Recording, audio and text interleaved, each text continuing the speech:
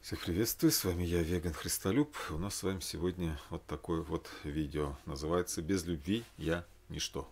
Ноль, без палочки. А полное название «Если я знаю все тайны и имею всякое познание, а не имею любви, то я ничто». Ну, или гимн любви, да, апостола Павла из 13 послания Коринфянам – которое многим известно, но вдруг кто-то его никогда не читал или не слышал. Ну а кто слышал, я думаю, не лишним будет его э, перечитать, переосмыслить, подумать, ну и запомнить. Вдруг, вдруг освежить в памяти, кто-то может даже будет воскрешать. Э, за эпиграф э, к этому видео я взял слова Иисуса из Евангелия от Матфея, 16 глава, 26 стих. «Какая пользу человеку, если он приобретет весь мир?» А душе своей повредит? Или какой выкуп даст человек за душу свою? Все можно приобрести. Что это душе? Есть в ней любовь? Да. Какой выкуп даст человек за душу свою? А,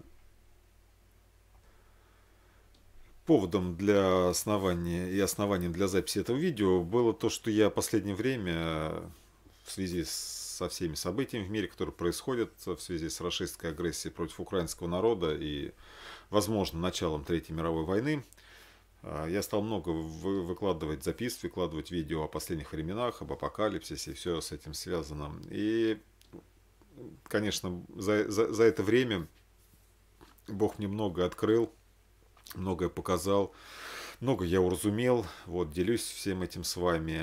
Но, знаете, когда вот ты во всем этом разбираешься, там, все это по винтикам опять раскладываешь, всю книгу Откровения, Бог тебе все это дает, конечно же, буквально просто вчера там сидел, и у меня такая мысль, что, конечно, все хорошо, и многие ли все это поймут, что я вижу. Это надо иметь желание, да, все это понимать и искать, ковыряться, трудиться, слушать, время свое этому посвящать.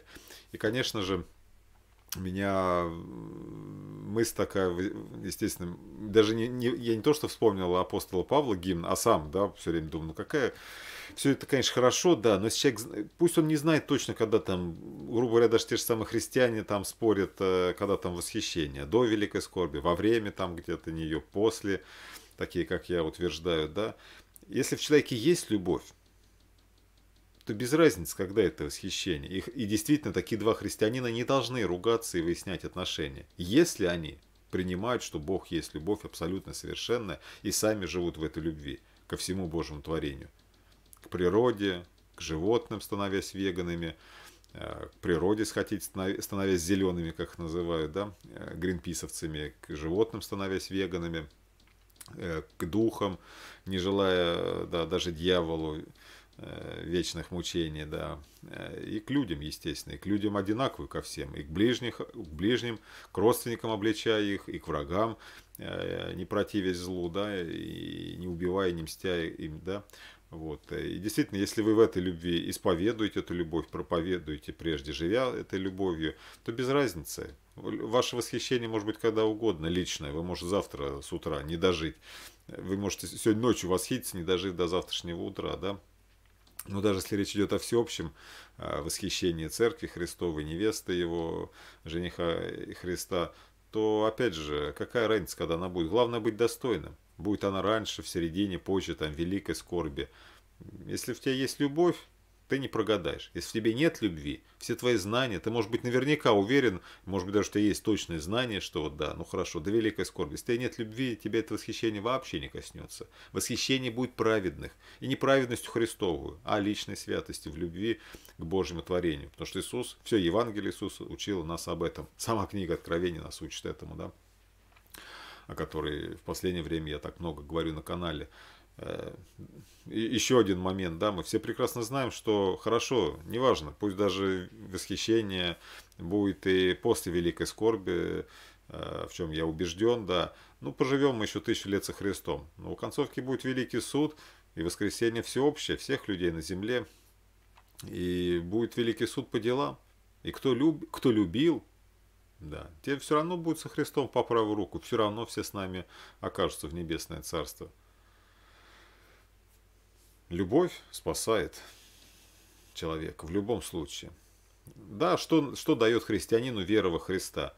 Это счастье просто знать Бога лично. Это счастье, э, как в книге Откровения написано, иметь блаженство – то счастье первого воскресения и тысячелетнего царства с Богом, любовью Иисусом Христом. Конечно, это плюшки классные, и именно христианин, познав это, просто пребывает на седьмом небе от счастья, это так и есть, да. Вот. И в этой жизни у него все, хоть Бог и всех любит, и грешник помогает, но мы все равно любим любящих побольше. И тех, кто любит Христа, естественно, и Господь, так скажем, по плоти их больше любит, и да, через своих детей проповедует, своих, через свою невесту и подмогает ей всяческие чудеса творит. Это однозначно. Так скажем, слышит лучше ее, да? Хотя, понятно, есть Бог, Бог есть абсолютная любовь. Вот. А, так что вот так вот. Поэтому не имея любви, вы знаете, даже я, я заметил, я заметил, а, вот, э, знаете, я вам подскажу такой э, козырь, я даже с самыми лютыми протестантами, которые проповедуют, что человек спасен по вере в Иисуса Христа и в его искупительную жертву, плюс ничего, вот даже таким, когда я приводил вот этот вот гимн любви апостола Павла, ведь все, все их спасение по вере в Иисуса Христа и в искупительную жертву основывается в основном на посланиях апостола Павла, причем, конечно же, на избранных местах, на вырванных из контекста, потому что тот же самый Павел все время учил о совершенстве в любви, что только через это достигается спасение, да. А, ну, естественно, им удобно вырвать, но даже когда я привожу эти слова апостола Павла, они умолкают. Это удивительно. Я когда первый раз это увидел, потом еще несколько раз перепроверил на разных, да, я увидел, что им нечего возразить. Я говорю, ну а как же вот? Павел-то пишет. Сейчас мы с вами почитаем, что пишет Павел. И несмотря на то, что у меня такая была узкая тема, я вам уже объяснил, почему я хотел, даже думал один стих взять, но знаете, как я не люблю вырывание из контекста. 13 глава тоже вырванный контекст, это вырванная глава из целого послания Павла, причем одного, а их два, очень больших, Каринской церкви, Коринфянам. Но все-таки, да, его не зря так обозначили. А, конечно, у него есть контекст целой главы, целого послания. Вот. Ну, его выделили в отдельную главу, да. Поэтому здесь, конечно, контекста главы нет, это и есть вся глава, она очень небольшая очень маленькая, да, поэтому ее так и сделали, такой, такой, такой, ну ее хорошо назвали, я с этим полностью согласен, гимн любви, очень прекрасное название этому месту, этому отрывку. Вот. Ну, я говорю, хоть я и хотел как-то коротко, вы знаете, коротко не умею, поэтому мы с вами все-таки его все прочтем. Я прочту для вас и поделюсь своими мыслями. Убежден, они будут вам полезны, назидательны и отрадны. В принципе, оно делится по картинкам, всегда можете у меня проследить. Раз, два, три, четыре, пять и шесть. Шесть таких э, маленьких слов своих маленьких проповедей я скажу. Ну, они у Павла делятся как бы как мыслями такими, да? Итак, первое. Если я говорю языками человеческими и ангельскими, а любви не имею, ну, я, это мой серый текст, э, кто знаком, то, чем я занимаюсь на сайте, да, все, вся Библия у меня есть э, на моем сайте, я там свои ремарочки делаю, они всегда серым текстом, в скобочках в основном. Если я говорю языками человеческими, ангельскими, а любви не имею, то я пустозвон, это уже я добавляю. Ну, Павел дает образ. Медь звенящая или кимвал звучащий. У меня такая картинка, это я когда-то слепил, такой фарисей молящийся, да, и вы помните, добрый самарянин.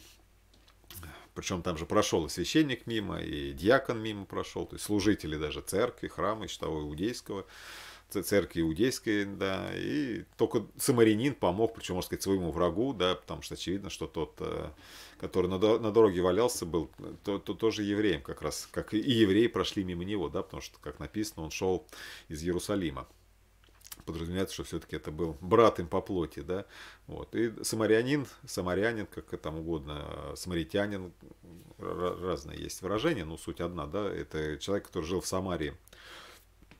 Он вот помог, причем вы помните, как помог, да, полностью человеку взял попечение, и, и раны его там отер, маслицем все омазал, утешил его как мог, посадил на своего ослика, отвез в больницу, заплатил за все его лечение и сказал, что если даже больше нужно будет для издержать для его лечения, он на обратном пути все возместит. Вот такой был поступок, да. И вот, как Иисус говорил, но на каждом углу да, становится и молится. Поэтому, если я говорю языками человеческими и ангельскими даже языками, что бы я там не бормотал, на каких только языках их там протестанты любят всю эту чепуху. Если я любви не имею, то я ничто. Ноль абсолютный. Удивительно. А как же спасение по вере? Я вот когда... Я говорю, вот кто, если будет с протестантами, вот э, на такой мотив будет, будет им проповедовать истину о том, что человек э, достигает гражданства тысячелетнего царства и потом царства небесного со Христом, тысячелетнего царства со Христом на земле, только совершенством в любви к Божьему творению, к природе, к животным, к духам и к людям. Приводите им всегда вот в пример это, э, э, э, это послание, эти места. Следующее. То, благодаря чему и это видео я записываю. Если я имею дар пророчества, я пророк, я знаю будущее, мне открыто будущее, я могу, я возвещаю вам это будущее. И знаю все тайны. Я такой пророк. Я, я яко Бог, я все тайны знаю. И имею всякое познание – Здесь я пишу Бога пустословие. Есть богословие, знание Бога, ведение Бога. Иоанн, Иоанн Богослов прямо писал. Любящий познал Бога, не любящий не знает Бога. И всю веру, так что и горы могу переставлять. Я протестанту прям задаю вопрос. Я говорю, ты, ты гору можешь переставить? Нет? А тут человек может. Павел говорит, что если я даже могу, я, гор, я веру такую, я могу горы двигать. Воды расступаются передо мной. А не имею любви, я ничто. Ноль. Я особенно, знаете, один пастырь мне недавно попался, он есть на Ютубе, я не знаю, кто-то догадывается уже о ком я говорю, я так имя, имя не очень хочется называть, всегда людей обижать. Да, у него прям, прям, знаете, вот он такую фразу выработал. Я такого, я, конечно, все это знал в длинном варианте, но вот ту, ту, ту дьявольскую фразу, которую он произносит, что суть Евангелия это вера в искупитель, во Христа и его искупительную жертву плюс ничего, меня просто убило. Я не мог поверить, что я это слышу собственными глазами. Он это и называет он это Евангелие благодатью, и об этом он говорит в каждом видео. Более того, пусть не меня прямо, но таких, как я, он называет э, проповедниками тьмы, да, потому что мы проповедуем спасение по святой жизни. Не по количеству добрых дел, что они сами придумали, чтобы э, уничижать э, учение о спасении святой жизни. Бог не количество дел судит. Один, одному столько в жизни отведено пожить, и, и с такими возможностями, с такими дарами, кто-то иной жизнью живет. Дело не в количестве дел, а в жизни, святой или, или грешный, добрый или злой. За это судится человек. Когда Иисус говорил по делам, он не произнес слово количество дел, по делам. Какие у тебя были совершены.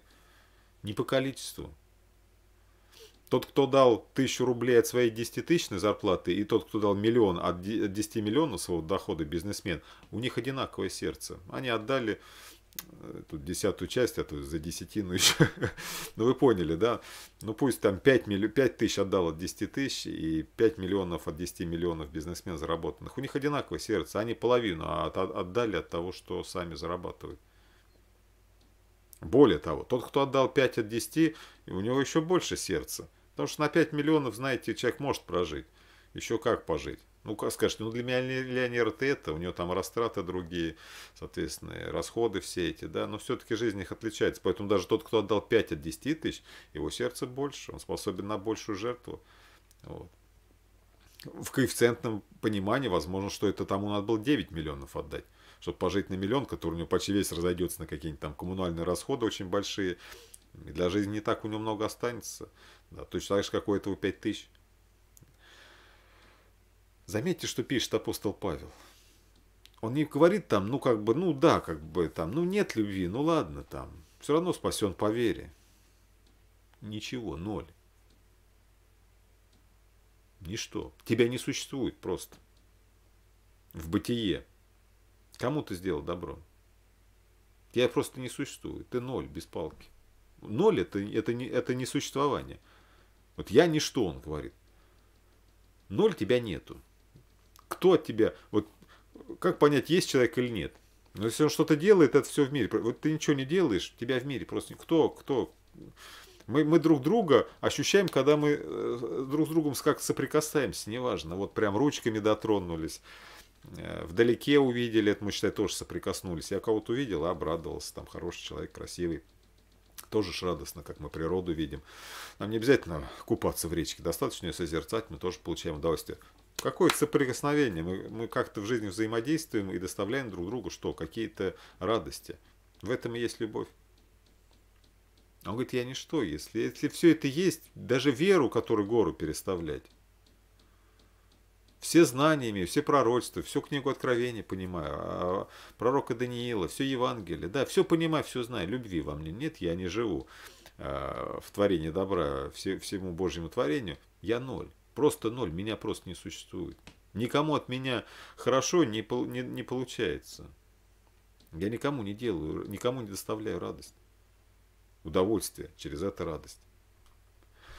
Второй раз, заметьте, загибаем пальцы. Раз Павел говорит, раз, да, что он ничто. Второй раз он говорит, без любви, неважно, что ты. На каких языках ты говоришь, что ты понимаешь. Если в тебе нет любви, ты ноль.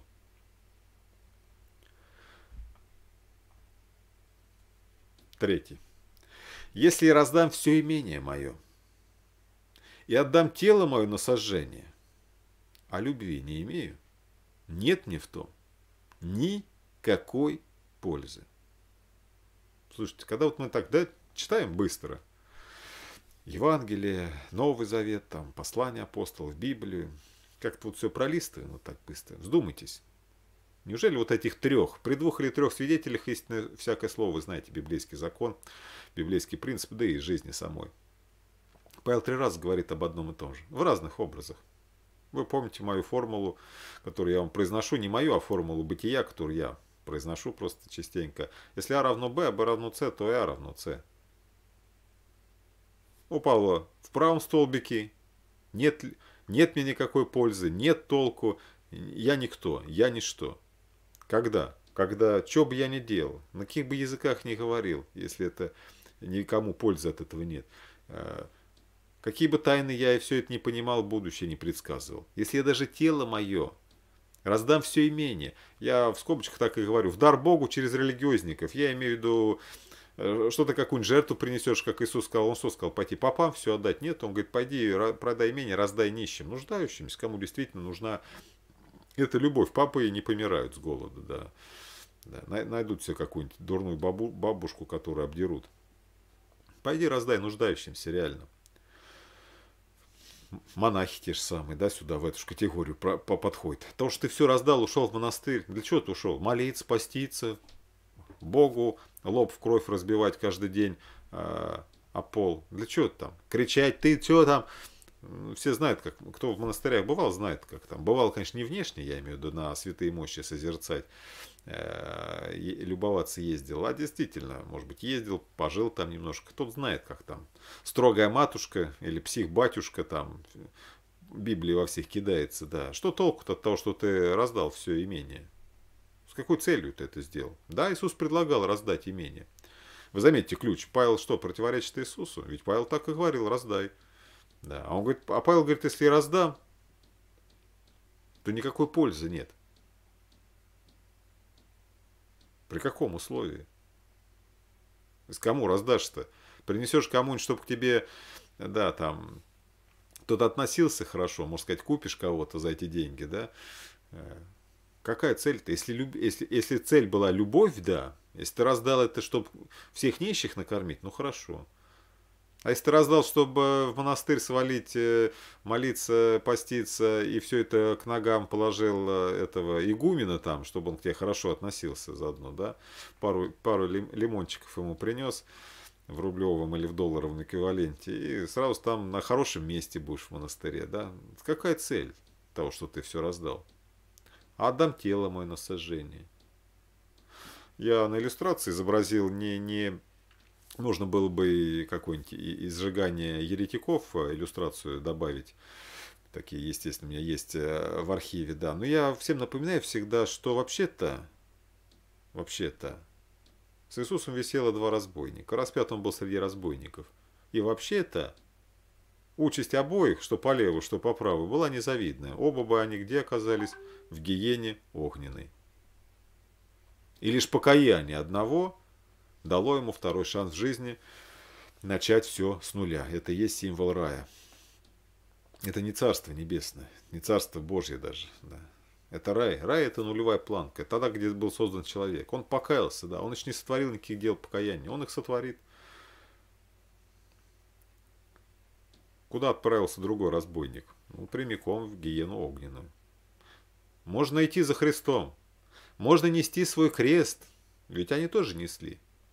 Сама казнь распятия на Христе подразумевала, что от места вынесения приговора до места казни Э, преступник, заключенный, или он, может, не преступник, но неважно, осужденный, праведно уже неправедно, праведно сегодня это опускаем, что это, этот осужденный несет э, этот самый крест, на который он распинает, ну или саму планку, там обычно все думают прям, Мел Гибсон снял, что там Иисус вот такой весь крест нес. Это, конечно, не обязательно так. Несли обычно планку, ее тоже привязывали вот так вот, это горизонтальную. И они это бревно, сами понимаете, бревно весит э, очень, дерево очень тяжелое.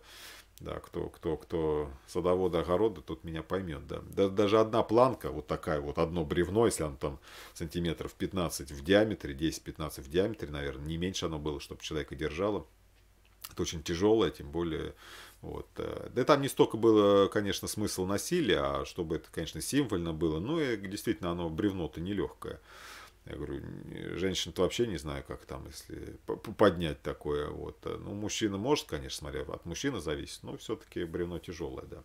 Вот. Э, почему Иисус-то его нести не мог? Даже, может быть, это бревно. Ну, может быть, конечно, он нес и целиком такой уже, уже сколоченный крест. Но даже бревно для него могло быть непосильным, кто знает, потому что его предали, его два раза предали наказанию за одно и то же, так скажем, деяние, которое он не совершал, правда, за богохульство осуждение его. Вот, он был предан и так наказанию, бичевание, которое и, и так заканчивается 50% летальным исходом. Да, именно поэтому он уже не мог даже э, идти не то, что там нести что-то. Он сам-то уже с трудом, конечно же, шел, потому что был жестоко избит. Поэтому, конечно, тут Павел о сказал, ну, хороший образ о распятии, да. Можно отдать тело свое на распятие. Ну, правда, конечно же, справедливости ради мы скажем, что э, разбойники не отдавали сами себя, их поймали. Если Иисус действительно сам себя отдал, да, то разбойники нет. Их, конечно, поймали, арестовали, судили, они не хотели быть распятыми. Но Павел говорит, что если я сам отдам, то есть я сам раздам, я сам отдам, но мотивы бывают очень разные. Вы знаете, очень хороший пример для ортодоксов, православных католиков. Это живой пример, как писались так называемых нечети именей или жития святых. Посмотрите на первомученика Стефана, описанного а, поступок который, а, речи которого описаны в 7 главе книги «Деяния апостолов». Посмотрите, насколько она боговдухновенная, насколько она истинная, насколько она любвеобильная. И о чем она вообще говорит. И как закончилась жизнь, и, какими словами а, это, это, это, это предание себя мученичества э, Стефана, который точно так же со Христом повторил, что прости им, не ведают, что творят.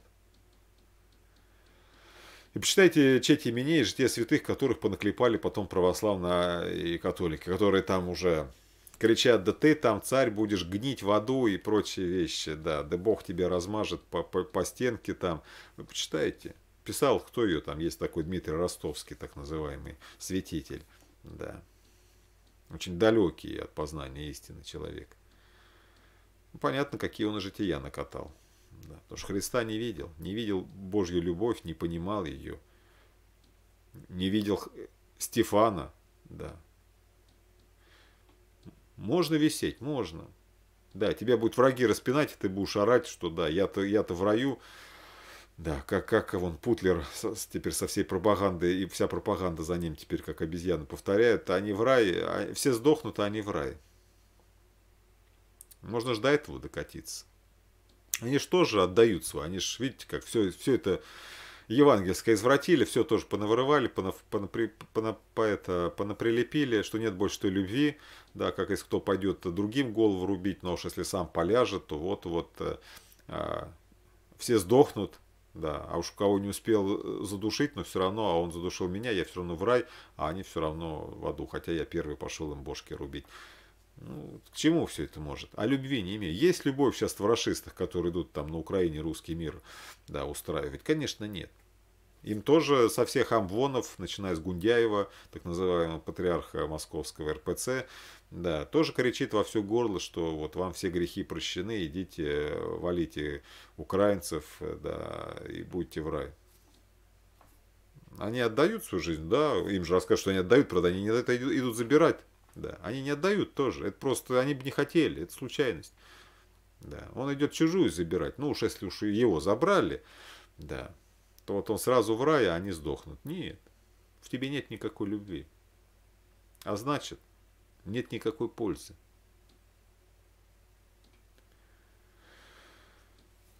Мы сейчас узнаем, что такое любовь, да, потому что там апостол Павла, который все это написал. Можно, можно пойти, не то что с автоматом, да более того, можно с креста, как я, надо было, я немножко неправильно построил сейчас свое слово, но я экспромтом, кто знает, я особо никаких сценариев не пишу, вот, ну, если только по страничке готовлюсь, но я здесь без особых комментариев сегодня так, это, это старые у меня еще вот эти, эти тексты, которые у меня подметки, да. То есть ну, начать бы вот надо было как раз вот с этих вот э, положителей э, головы своей за ближнего там, да, на украинской земле, а закончить вот как раз, да, так называемыми святыми православными.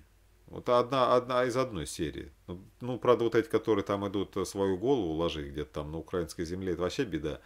Вот. Ну и вот такие же вот цветы, которые там описаны. Понятно, что Дмитрий Ростовский там понасочинял э, такой дури, такой блевотины, что, не знаю, читать вот это, и читать будешь и блевать дальше опять. Вот, кому все это нужно, непонятно. Ну вот читают же, живут же так, назидаются, это их не святые. Разве там похоже на Иисуса Христа, который с креста сказал, Господи, прости им, не ведают, что творят. Разве это похоже на Стефана, который практически слово в слово повторил то, что сказал его учитель Иисус? Если быть, точных, быть, быть точным при побиении камнями, Стефан сказал им следующую фразу. «И, преклонив колени, воскликнул громким голосом, «Господи, не вмени им греха этого». Ну, практически, и сказав это, почил. Практически то же самое другими словами, что Иисус сказал на кресте о своих врагах, о своих судьях, о своих э, предателях, о своих э, мучителях, о своих убийцах, о своих казнителях, своих э, всех, всех, всех недоброжелателях. Прости им, ибо не ведают, что творят. Ну или не вмени им греха. Фраза практически слово в слово повторяет мысль уж, уж точно, ну и практически обороты Иисуса Христа. Так что вот так вот. Можно, можно, можно, можно на кресте висеть, да. Можно, как там, будучи, как их там, сжигали тоже, естественно. Ну, Павел почему это написал, потому что, кто знает, э, когда начались гонения, особенно уже в Риме, э, тогда да, в, в, в, в империи, как раз во времена после Христа, уже в римскую казнь, уже любили не просто распинать, там распинали или просто привязывали к столбам и сжигали. Так называемый некий Нерон, при котором все эти первые гонения на христианскую церковь уже среди язычников, помимо иудеев, проходили, кто знает, там, как говорят э, историки, что христиане, э, христиан вечером поджигали в, прям по улицам Рима, как факелы, чтобы они вечером раньше не было электричества, факелами освещали улицу, но обычно такие обычные, там палки э, у домов вставлялись. Вот как раз еще столбов наколачивали, при, привязывали и поджигали христиан, чтобы а, ими освещать улицы Рима. Вот. Именно поэтому Павел здесь говорил, да, можно, ты, может, тебя, может, даже сожгут.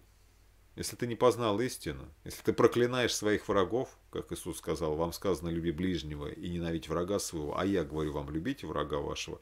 Если тебя сжигают, но ты не познал любви, полноты любви, желаешь своим врагам э, вечного ада, нет тебе никакой пользы. Это ничего тебе не дало про раздать-то имение, я говорю, он все это тоже не просто так вспоминает.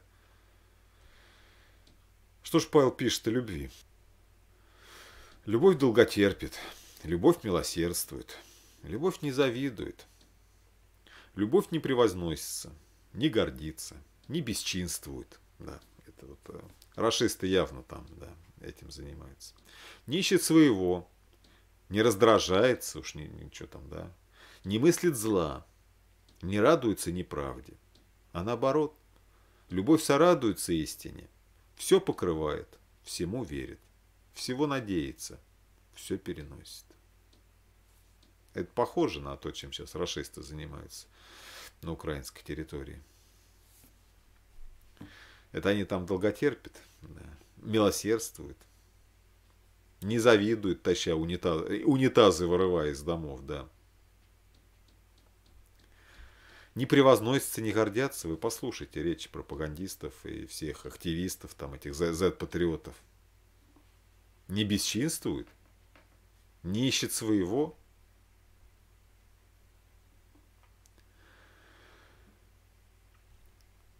любовь никогда не перестает. Здесь я картинку вам воскресшего Христа показываю. Хотя и пророчества прекратятся к теме сегодняшнего видео, говорю, все-таки, которое явилось поводом для записи его, это о том, что я все знаю, да. Любовь никогда не перестает. Хотя и пророчества прекратятся, и языки умолкнут, и знания упразднятся. И пророчества, и знания, все мои тайны, все мои языки, на каких бы я ни говорил, человеческих или ангельских. Ибо мы отчасти знаем отчасти пророчествуем. Когда же настанет совершенное, когда воскреснем во Христе, и будем с ним жить тысячу лет на земле, а потом вечно, вечно, вечно, вечном царстве, тогда это все, что было отчасти, прекратится. Все эти пророчества, которые знания, которые мы с вами так называем, имеем, да, какие-то языки умолкнут, то есть дары какие-то имеем, неважно. Здесь Павел там кратко, тут можно до бесконечности перечислять. Да. Все это временно, все это прекратится. Вечно только любовь. Смысл только в любви. Закон благобытия – это любить и быть любимым. Вот и все. Вечно, естественно. И, естественно, добровольно. Когда я был младенцем, по-младенчески говорил, по-младенчески мыслил, по-младенчески рассуждал. А как стал мужем, то оставил младенческое. Теперь мы видим, как бы сквозь тусклое стекло, гадательно. Тогда же лицом к лицу. Теперь знаю я отчасти, а тогда познаю, подобно как я познан. А теперь пребывают эти три. Вера, надежда и любовь.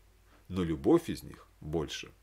Тут разные переводы, синодальные. Ну, смысл, если почитать переводы, да и вообще, по контексту мы все понимаем, а что кто понимает благодаря контексту всего Евангелия, да, истины, которому открыто, то вообще читается, я разные переводы можете посмотреть, то любовь превыше всего, любовь важнее всего. Ну а по сути, как мы видим, любовь, в общем-то, и, и, и, и, и единственное, что только есть. Вы знаете, что в своих проповедях постоянно говорю, что вера, вера, это не добродетель, это все отчасти, это все младенческое. Все эти слова, вы знаете, я даже слова не могу употреблять, они у меня э, поперек горла еле выходят только для язычников и грешников о том, что я верю там в вечную жизнь. Я не верю, я знаю. Да, Павел говорит, конечно, в полноте я познаю, когда я обрету эту вечность э, плоти, потому что плоть сейчас смертна, есть на мне некая рубашка, да, одежды животные в память о том грехе, который совершили прародители, да, чтобы осозна- вкусить всю эту горечь смерти, да, но душа-то я знаю, что я вечен. И тогда познаю, подобно как я познан, да. Вера, да, во что? Верю я ли в Иисус Христа? Нет, я не верю. Я знаю, что Он был, что Бог есть, что этот Бог есть любовь, что этот Бог любовь имеет плоть, всегда имел и всегда будет иметь. Он был прежде, не, прежде был Авраам во плоти, да. Иисус так о себе сказал. Я есть. Он всегда был, есть и будет. Именно во плоти. Он всячески во всем духом своим, он же имеет плоть, по образу которого мы и созданы с вами. Мы боги и дети Всевышнего все мы. Я по образу и подобию кого создан? Я похож на Вселенную, как там у буддистов, на какую-то нескончаемую. Я капля растворюсь в этой, в, в, в этой нирване? Нет. Я не растворюсь никогда. Я всегда буду уникальная индивидуальная личность по образу и подобию Бога. На кого я похож? Когда Иисус, Бог, любовь явился, Бог, любовь во плоти явился людям, я убедился в этом, что я человек, Бог, создан по образу и подобию Бога. Вера, во что вера? Вера, да даже в любовь временно. Потому что когда ты начинаешь сначала ты веришь, это как мировоззрение, как учение, то, что вера делает, то, что, что, что ты веришь в то, что любовь делает меня счастливым. Иоанн Богослов так и писал, я всегда и напоминаю его эти, вы знаете, тоже слова, что любовь Божью, или по-другому читаю, то, что Бог есть любовь, о чем Иоанн там тоже писал, там можно эти стихи совмещать, местами менять. Он говорит, любовь Божью, или то, что Бог есть любовь, мы познали в том, не когда он там с небес нам говорил, а когда он что сделал? А когда он положил за нас душу свою. В Евангелии от Иоанна он так и писал, что, передавая нам слова Иисуса, что потому узнать, что я до конца возлюбил вас, потому что предам себя за вас. Да. Чтобы вы знали, что я возлюбил мир и вас, да, поэтому предаю, совершаю этот великий поступок, являя, что я есть абсолютная совершенная любовь. Любовь Божию, то, что Бог есть любовь, мы познали в том, что Он положил за нас душу свою. А потому мы познали ее, Иоанн Богослов пишет, и уверовали в нее. Не в него, а в нее. Я, и апостолам не нужна была вера в Иисуса. Они его, как он начинает свое послание, это первое, мы говорит о том, что мы видели своими глазами, слышали своими ушами, осязали своими ручками, о слове жизни, о начальнике жизни, как Петр дал прекрасное имя Иисусу, которым он есть по сути. Начальник жизни. А вы начальника жизни убили. В его первой проповеди он так и говорит – Иоанну Богослову и всем ученикам Христовым не было нужды веровать в Иисуса. Они его видели. Вера в Иисуса – это не добродетель. Иначе тогда первые ученики Христа ей просто не обладали и не могли ее достигнуть. Она для них, они не верили, они его, они его видели своими глазами, слышали своими ушами и трогали своими руками – это не добродетель. Вера в Иисуса – это не добродетель. А она не делает меня ближе к Богу. Она не делает меня даже дальше к Богу, а дальше от Бога. Она ни капельки не может ни приблизить, ни отдалить меня от Бога. Если, если через эту веру, если через веру в Него я не поверю в любовь, видите, я оговариваюсь, потому что у многих, наверное, уже возмущение начало нарастать, слушая мои слова – а я строю свою проповедь точно так же, как только что мы читали у апостола Павла. Если эта вера ничего никак меня не отдалит и не приблизит, если, поверив в Иисуса, во все Евангелие, я, я не поверю в любовь, тогда ничего мне эта вера абсолютно не дает. И не в искупительную жертву я должен поверить, а в Иисуса – который Бог есть любовь. А значит, и я, его образ и подобие, должен поступать, как его ученики писали, в этом мире так, как он. Не верить в искупительную жертву я должен, а поступать в этом мире так, как он. Если он предал себя за нас, то и мы, написано, должны поступать так же. И только не за него себя предавать. Иисус предал себя не за праведников, а за грешников. А мы должны по его образу также предавать себя за грешников – а не за праведника Иисуса. Вы знаете, я много раз говорил, посмотрите на, сейчас вот опять к этой же теме, там, сколько там православных попов во времена там советского гонения топили на баржах. Вы думаете, они святые? Вы думали, они в Царстве Небесном будут? Нет. Они порой жили самой порочной, грязной жизнью. Да. Это опять к тому вопросу. Можно тело отдать свое насажение. Это ничего не значит. Можно умереть за веру в Иисуса. Завтра, если христианство станет э, гонимое, вне закона, вы знаете, многие э, все равно такие там, протестанты, православные, католики за веру там умрут. Но только они умрут, они вон, сейчас идут там, да, на украинской земле умирать. Завтра даже на них пойдут, они умрут. Да, у них автомат выдерни, и ему в голове при, приставь, он скажет, да, я за Христа умру, за Христа. А что ты сюда пришел-то убивать ради Христа? А до него не доходит, что в одной главе это никак не должно складываться-то.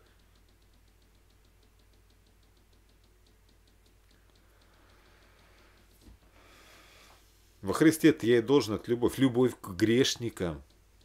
Любовь к грешникам. Правильная любовь к близким, к родственникам. Именно это пришел явить Иисус. По головке любящих любит и все и грешники гладят, Иисус говорил. Многие ли готовы своим родственникам, близким, женам, мужьям, матерям, отцам, детям, э, дочерям и сынам проповедовать истину, говорить об истине, стоять в истине несмотря на то, что они против тебя, враги домашние твои становятся. Об этом учил Иисус. О любви к врагам, которым ты не, не, не мстишь, не, не, не рубишь голову, но ты не боишься их и проповедуешь истину, обличаешь грех и беззаконников. Вот что принес Иисус. Вот как я должен жить. Поступать в этом мире так, как Он поступал. А, апостолы пишут. Для этого если, говорит, а если вы там страдаете за беззаконие, Петр писал, то вообще что вы? А если, говорит, даже не за беззаконие, а, а пусть за, за добро вас обличают, то, говорит, Иисус нам первый показал пример, что так будет поступать со всеми. И мы должны точно так же себя явить, когда с нами будет творить беззаконие. Неужели так сложно все это понять? Что такое любовь? Павел, конечно, хорошо все сказал, красивое определение, эпитеты, долготерпит, да. Но как конкретно понять конкретным вещам? А что терпеть? Иисус разве терпел, когда его бесом называли? Нет. Он в ответ говорил, это вы дети дьявола. Потому что его, он говорит, вы за что, говорит, меня бесом называете? За какой из добрых дел? А я вас называю бесом, потому что вы ищете убить меня. Я творю добро, а вы меня бесом называете. Я слепому от рождения дару зрения, вы говорите, что я бесноватый и силою князя Бесовского это делаю. Вы сговариваетесь, убить меня помышляете. За это я вас называю детьми дьявола, который был человек-убийцем от начала. Иисус долготерпит, никому не, никого не обличает, никому в глаза правду не говорит. Нет, говорит. Так что ж такое любовь? Вы знаете, Иисус сказал одну фразу, в которой, казалось бы, все сказал. Я много лет сам ее не мог. Я понимал, читал, перечитывал, знал ее, естественно, наизусть. В жизни применял. Но на сто процентов она меня не заквашивала. Я все еще там, что-то там, искал тоже вопросы, вопрошал к Богу, как и что, а вот здесь не пойму, как поступить. Вы знаете, настало время, меня как молния сразило. Да. Переквасился я любовь – это никогда ничего не делает никому, чего бы ты не хотел себе. И наоборот, это есть покаяние. Вы знаете закон жизни, закон Евангелия. Покайся и створи плоды, плоды достойные покаяния. И наоборот, всем и всегда делай то, что ты хочешь, чтобы делали тебе. В этом весь закон и все пророки, и закон благобытия, счастливой жизни и Евангелие. Все. Зная это, и то, что мы свободны, и любовь, она кувалдой не вбивается, истина. Она лишь является, она никому не доказывается. Да. Насильно мил не будешь, это закон жизни. Поэтому, естественно, свобода. Каждый абсолютно, абсолютно остается свободен творить добро зло. Ты можешь обличать словом но ты никогда не имеешь права взять кувалду и вбить в голову свою правду или разбить эту голову, которая не принимает правду. Естественно, все это очень легко рассматривается через призму вечности. Это обязательное условие э, любви. Понять. Если бы так все поступали всегда и до скончания века, если тренд бы был туда, да, куда бы это, к чему бы это привело мой поступок? Пусть даже вот такой сегодня маленький, пусть я там 10 копеек украл. Сегодня 10 копеек, и сегодня только ты, а завтра все и по миллиону. Куда, если это вечность, если в вечность смотреть? Куда это все приведет, вот этот поступок? И наоборот, если я сегодня обличаю да, всех там злодеев, куда этот тренд приведет? К миру. А если я буду молчать, и каждый будет, куда это приведет? К тьме, к войне. Элементарный закон.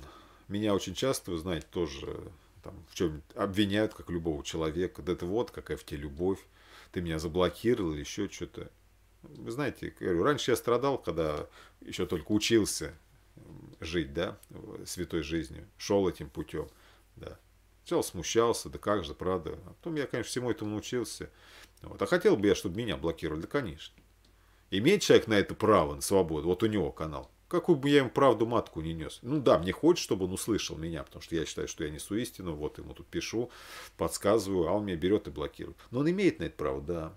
Я люблю его, конечно. Я ему попытался сказать, да, я проявил свою любовь. Но он заблокировал меня отверг, ну хорошо. Я люблю его, что я ему кувалдой, как мне там бывает, долбится, 100 аккаунтов поменяют. Да, я так делаю? Нет. Ну не хочешь, как Иисус сказал, зашел, сказал раз, да, сказал, зашел с миром, да, мир дома всему. Раз истину сказал, принимает хорошо, дальше идешь, дальше развиваешь, так скажем, в этом вопросе человеку несешь это. Нет, вышел, отряд, отряд праха, пошел дальше. Любовь она не насилует.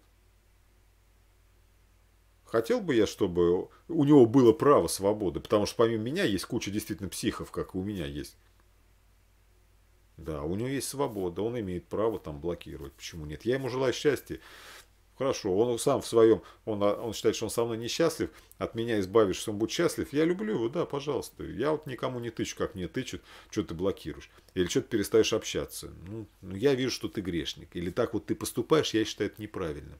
Я тебе об этом говорю, ты все равно продолжаешь поступать. Ну, а что? Ну, если ты, ты так живешь, я так, у нас какое общение? О чем мы будем общаться? Ты трупожор, убийца, я веган. Ну, а, а что? Ты будешь продолжать резать? Да. И постить шашлычки, как ты ешь. А я пощу, как надо любить животных. Какое у нас общение?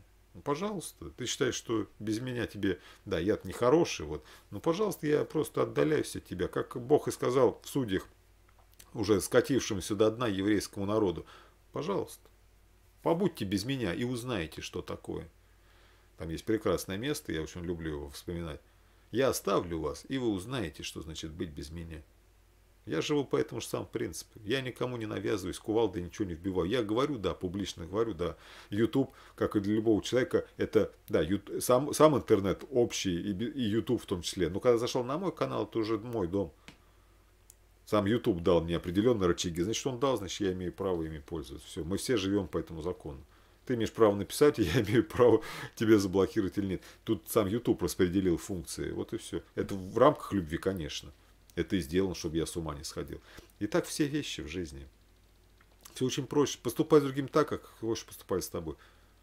Я хотел бы, чтобы от меня кто-то тоже огораживался, а, дав, дав понять, что вот он тверд в своем решении. Да, я считаю это правильно. Я считаю, что лучше человек будет, даже пусть он ошибается, но искренен, знаете, он горячий, как вот в Откровении сказано. Он не теплохладный. Пусть он в заблуждении, но он горячий. Точно такой же, как апостол Павел когда-то был. Пусть он был неправ, он вместо того, чтобы действительно быть, да, познать истину, что делал? Гнал и убивал церковь Божию, самих христиан, гнал самого Христа, как Иисус ему явившись, так и сказал, ты меня гонишь. Но он был горячим, у него было горячее сердце. И на самом деле любвеобильное, о чем он еще сам, правда, не до конца знал, да? Бог ему явился. И он из горячего гонителя церкви превратился в, горячий, в горячего проповедника церкви, потому что он горячий. И таких людей я люблю, да. Я хочу, чтобы со мной так же поступали, как я. Поэтому, когда меня укоряют, мне тяжело объяснить людям это. Я говорю, слушайте, да, пожалуйста, поступайте со мной так же. Я считаю, что это как раз любовь. Если ты в своем стоишь и считаешь, что вот это вот истина, так стой до конца. Пусть мы разными дорожками идем. Ты, может, там познаешь истину, покаешься, а может, я не прав. И наши дорожки еще сойдутся, Бог приведет и сведет. Это надо. Но на сегодня, пожалуйста, краями. Я тебе ничего кувалды в голову не вбиваю, ты мне. Раз поговорили в любви, может даже подебатировали, как Иисус, э, с противящимся. Но мы же не берем сабли в руки, голову по-настоящему не рубим. Ничего, как я всем на словах говорю, ни сахара не растаем. Это же видно из Евангелия. Иисус достаточно отвечал твердо, да. При родной маме в дверях, и братьях, и сестрах, и, род, и друзьях там всех родственников. Что сказал? Да, когда просили выйти к ним или их там позвать. Он провел пальцем по всем сидящим, указав на всех сидящих, сказал, «Матерь моя, и братья мои, и сестры мои, те, кто исполняет волю Небесного Отца, те, кто любят, кто исполняет этот запад, кто живет в любви, тот мне брат и сестра, и матерь». Мама в дверях стоит, все прекрасно слышит. Это его не любовь к матери, Любовь. Она должна понять, что любовь, у любви нет никаких весов, та же самая его мать. Дева Мария, так называемая. Мы должны познать совершенную любовь, любовь ко всем одинаковую, что мы все на земле, все ценны, все сокровища, все жемчужины, все, каждая молекула на земле прекрасна, каждое животное, каждый человек, каждый дух. Мы уродливы только потому, что мы сейчас возле. Когда человек меняется, он становится прекраснее всего на земле. Вся земля, то, что сколько сейчас, сама из себя зла, так скажем, источаем, проклята она за нас. То, что мы видим, все эти катаклизмы э, хищных животных и там прочие вещи. Духи злобы только по своей собственной воле совратились. Потому что имеют такую же свободу, как и люди. Но когда покается, будет светлее э, светлого. Вот и все. Вот что такое любовь. Все очень просто. В одном законе, в, одном, в одной формуле. Любой поступок.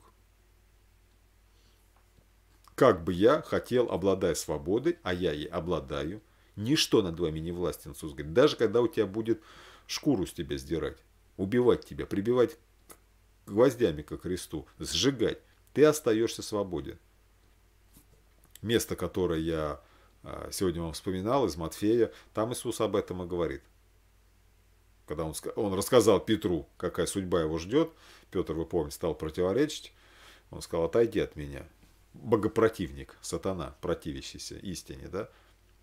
Повернувшись к ученикам и к народу, сказал, кто хочет следовать за мной, отвергни себя вот этих всех этих мыслей. Возьми крест свой, следуй за мной. Куда следует за крестом? В ресторан? Да. Или куда? На премию Тэффи? Крест несут на Голгофу, на который ты будешь распят, и смотри с этого креста, в ад не скатись. То все твои труды напрасны. Иисус сказал, претерпевший до конца спасется. Не вздумай на кресте возопить, да, дьяволы-богохульники – как раз надо говорить, пока ты не висишь, как я вот поступаю по образу Иисуса Христа. Как, как Павел говорил, подражайте мне, как я Христу. Вот я всем то же самое говорю. А когда уж будешь висеть, яви жертвенную любовь. Это сейчас я тоже всех богохульниками называю, детьми дьявола. Когда уж мой час настанет, проявлю к ним жертвенную любовь. Там уж поздно обличать их. Уже понятно, кто они есть, дети дьявола. Иисус их пытался обличить, когда они хотя бы этого не сделали. Когда они только помышляли, он их только за это называл детьми дьявола. Высшей награды в кавычках нету, высшего определения, звания человека, да. Быть чадом сатаны. За то, что они только помышляли его. Он их пытался вразумить. Потому что, как Иисус сказал, э, неправильно толкуют его эти мысли, что, да, посмотревший на женщину с вожделением, уже прелюбодействовал. Дело не в мыслях, а в желаниях. Там не просто мысль даже была уже. Это все, они положили его убить. Он говорит, ищите. Ищите, не можете, потому что я там хожу неизвестно где, не так просто меня найти. При народе боитесь схватить. Но вы положили уже в сердце свое.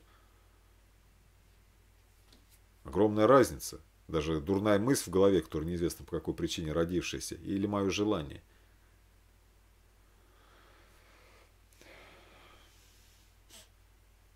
Так что вот так вот. Прекрасная тоже фраза, когда-то я ее где-то услышал, тоже пару постов разных делал. Не гвозди держали Иисуса Христа на кресте, любовь к людям делала это. Такое вот у меня сегодня к вам видео. Я своими словами еще в конце подытожу все-таки, да. Мне это, говорю, мысль вчера вот, это вот про то же самое познание, говорю, сейчас вот все это много откровения там разбираю, Бог много мне, конечно, открывает, я все это вижу. Не знаю, у кого там получится, я, конечно, всем буду делиться. Многие ли все это способны размевать, э, да. Ну, многие в Евангелие смотрят, видят, смотрят в книгу, видят фигу, я уже давно убедился, да. Вот. Ну уж о любви-то надо понять. Это так просто. Можно сколько угодно там спорить, куда это видение, о чем оно там, в какое место его пихнуть, оно во времени или вне времени там. Говорят о, о продолжительных событиях или вот о, о точке, о мгновении. Но ведь это ведь для познания истины, что Бог есть любовь, что любовь правит миром и что она только дает счастье, у каждого человека есть все. Это глаза, это ноздри, это ушки, это язычок с губками и это ручки с ножками. Ударили? Ай-яй-яй, больно. Этот человек меня не любит. Погладил? Кайфово, он меня любит. Я как хочу? Чтобы меня били или меня гладили? Так поступай с другим так же. Каков возможен идеальный мир? Какой должен был в раю и какой будет в Царстве Небесном. Это где у человека, вот планка ноль, планка рая, которая была. Никогда, Господь сказал, никогда не делай зла. Табу вообще. Тем более в раю никто не мог тебе сделать зла. Тебе не надо было проявлять жертвенную любовь. Это вот точка. Возрастайте в любви. Возделывайте и храните рай. Любите, любите, любите, любите. Мы что стали делать? Не любить, не любить, не любить и спустились на дно ада. Конечно же, из этого дна ада выбраться можно только теперь не просто любить любящих меня, что надо было делать в раю. Теперь приходится любить врагов. Ну, ведь мы сами ими когда-то были для кого-то, просто познали истину. И так заквашиваем. Ну, до нас дошло. Мы сами кого-то резали, убивали, насиловали, грабили, обворовывали, ругали. Потом обычно сами встаем на, на это место, когда познаем истину. Потом нам. Но мы если им явим любовь, мы их заквасим. И так заквашивается мир. А если мы им не явим, мы убьем все. Занавес. Ничего. Дело Христово продолжается его учениками. Не на словах, не рассказках о Евангелии, о том, что Иисус за меня жертву принес, а поступая так же. Об этом говорили все апостолы Иисуса – поступать в этом мире так, как он. О чем он и говорил им на прощальном ужине. Я для того сделал, там умыл в частности ноги, очередной жест любви вам показал, как надо поступать друг с другом. Там был конкретный, конечно, смысл, чтобы вы потом, говорит, когда поймете, они, правда, не понимали, написано, что он делал, поступали так же. О том, чтобы мы шли по стопам его, писали все апостолы. Поступали в этом мире так, как он поступает, писали все апостолы являли в себе Христа, писали все апостолы. Даже до смерти и смерти мученической, неважно, на кресте, на костре, в тюрьме, любить даже до смерти и смерти крестной. Я на этом все.